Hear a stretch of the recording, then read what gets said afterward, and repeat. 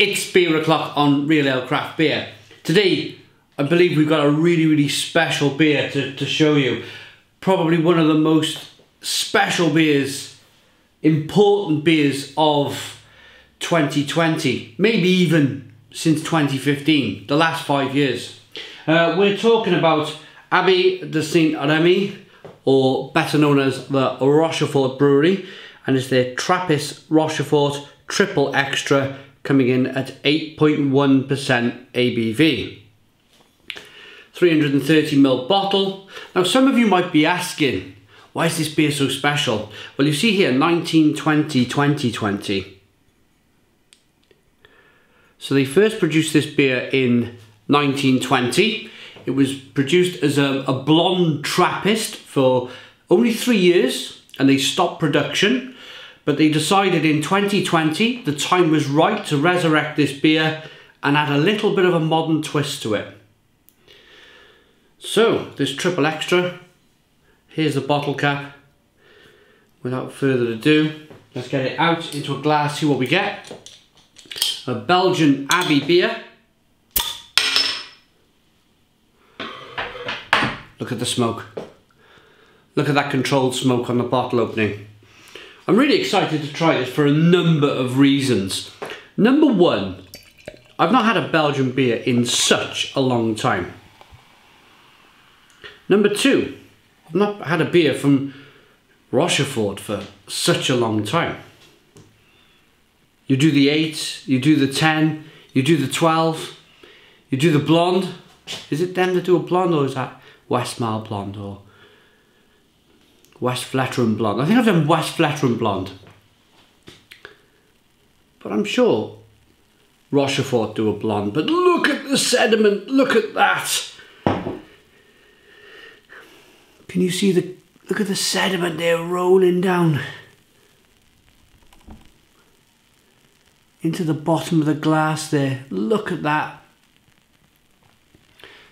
Beautiful kind of, it's dancing. The carbonation is dancing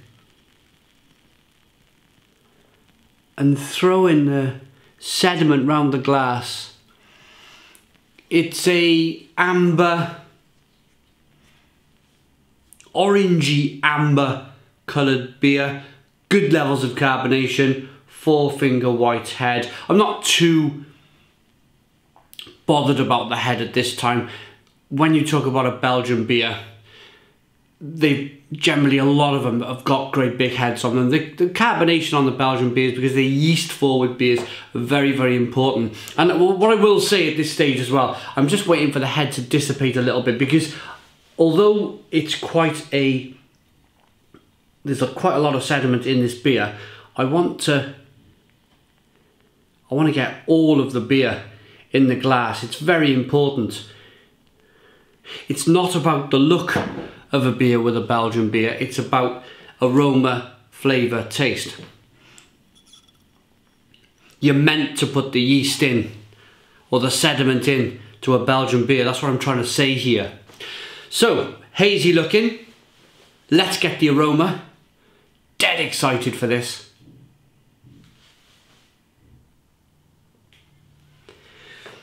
And when they say a modern twist,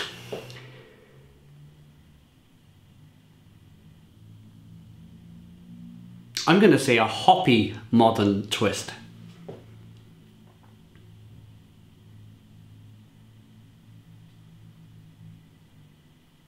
Marmalade, lots of spice, an estery yeast forward beer. Marmalade and Belgian candied sugar.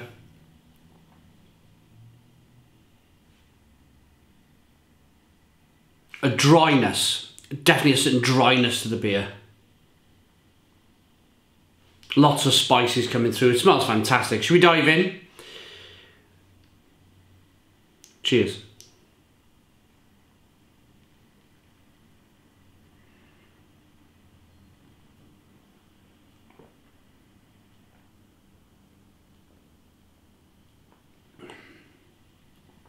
Oh, exemplary can't even say that word. Exemplary. I'll type it in the comments box. I can't pronounce it. I can't get it out. Exempt exemplary. Oh, I can't get what? I've ruined the moment. The first taste. I've ruined the moment. Fantastic. Perfect. Brilliant. Um, lots of carbonation on the first taste. Um, we always like to have a bit of fun with our beer reviews. Serious but fun at the same time.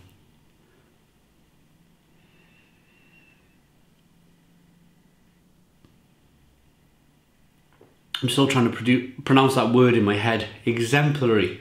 Exemplary. Ah, that'll do. Um, lots of carbonation, pushes the beer on the inside of the mouth, release, releases lots of marmalade flavours. Um, it's, it's spicy and peppery. It's very dry. It's a very dry beer, but Belgian beers generally are quite dry beers. Uh, what I was meant to say earlier, earlier on as well, um, this is the first beer from Rochefort for the last 65 years. So it was a hundred year old recipe that they re resurrected from 1920. They produced the beer for three years, but the last time they brewed a beer at the brewery was 1955, so that was 65 years. 65 years. That's my maths anyway. That's a long time. That's a long time for a brewery not to produce a new beer. And it goes to show really.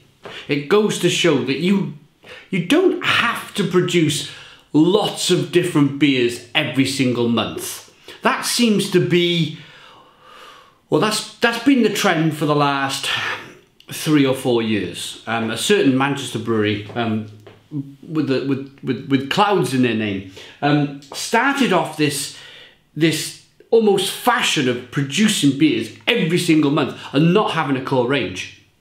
Whereas, whereas Trappist Rochefort, they've relied on their six, their eight, their 10 and their 12 for their kind of their beer sales. And they've sold beer all around the world for a long, long time. Um, and they've not needed to bring out a new beer in 60, 65 years. And I like that. I like that. That's a great kind of reputation to uphold. But at the same time, I like the fact that breweries do bring out new beers every single month. But I'm a very, very big advocate in having a core range. It's very important to have a core range.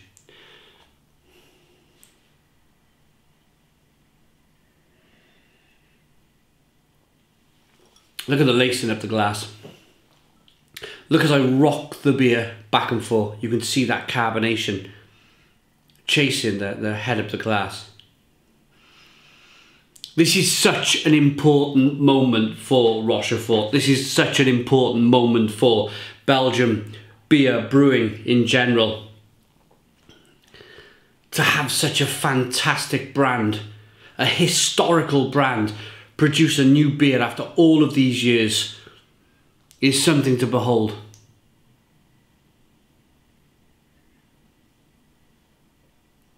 Look at the yeast there. Look at that yeast. It's very mellow. It's very drinkable. It's very refreshing. Just kind of stirring some of this carbonation out of this beer. The first taste was very, very rigorous and carbonated and in your face. But swirling this round a bit, releasing some of the carbonation from the beer, it really smooths the beer out.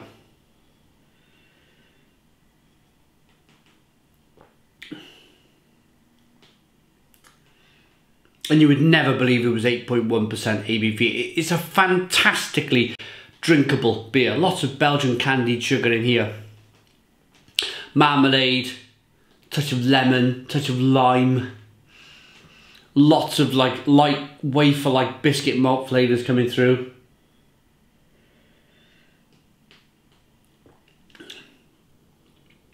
I've gone too long. I've gone too long from drinking Belgian beer for whatever reason. For I think it's been down to this whole kind of this situation we like to call it. I like to call it in 2020. Um, I used to review a lot of Belgian beer on the channel. I used to review a lot of German beer on the channel. And this has really been a, a pause, if you like, in me reviewing Belgian beer. And when you go so long without drinking a Belgian beer and you get a really, really good one like this, it, it makes you realise, without even knowing it, how much you've missed Belgian beer and Belgian brewing. One of the top three countries in the world, I would say, in, in quality beer production. Wonderful, wonderful.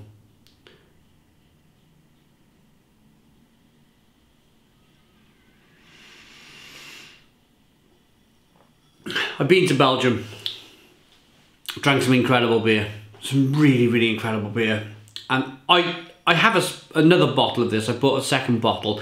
I think Craft Beer Lady's going to review it. If she decides she doesn't, and she just holds on to the bottle, I'll let her forget about it, and I'll put her bottle in a cupboard somewhere in the dark, in the in a cool cupboard, I live in a damp house, so it's, it's not hard to find a cool, dark place in this in this house. And I'll just I'll just leave it there. I'll just leave it there for years and years. Batch one of this beer. Um, tremendous stuff, really is. If you're a, a lover of Belgian beer, or if you're new to beer and you've not tried a Belgian beer, I urge you, I urge you to go and I picked this up myself from Beer Merchants. Um, I think I ordered it. I did order it Friday on the on the Stone Crow Virtual Pub.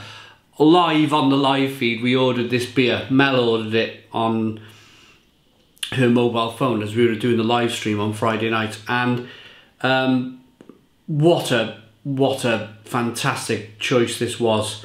It was only two or three pounds to buy. Um, there was quite a big delivery charge. We didn't want to buy too much beer. Um, I got so much in the house, so much in the house. But what a beer, yeah. Glad I, really pleased that I ordered this beer. Is there anything on the back? Um, brewed with water, malted barley, malted wheat, sugar, yeast, hops, orange peels and spices. You can definitely get the orange peel. Definitely get the orange peel coming through. Um, and the spices, yeah, you definitely get the spices as well. What a terrific, terrific beer this is. Absolutely incredible. Um, that would have been the ideal glass to put it in. The Belgian, lovely, beautiful, big stem glass. But yeah, that's not a bad glass. It's not a bad glass to use. Um, I could talk forever. I could stand here and talk forever. But what I'm going to do, because we got some newbies watching, um, I've had some comments on some beers where there's been lots of sediment in the glass.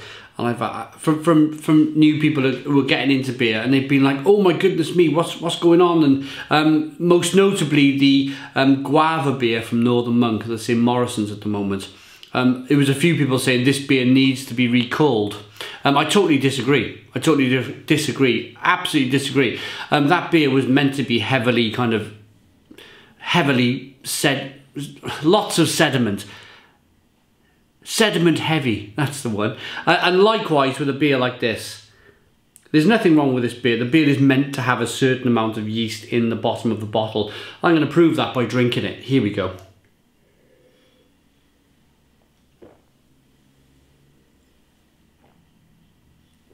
Absolutely chock full of vitamin b. Chock full of vitamin B. And there's a little bit, look, look at that. There's a little bit still there that, there you go. Lovely. I didn't mean to swear at you then. Mmm. Beautiful, beautiful beer at 8.1% ABV. I'm going to rate it. I'm going to give it an absolutely fantastic smashing 10 out of 10. It's a 10 out of 10 from Real Ale Craft Beer. Please put your comments in the comments box. Subscribe to our daily beer and food reviews give us a big fat thumbs up. Boom! Cheers!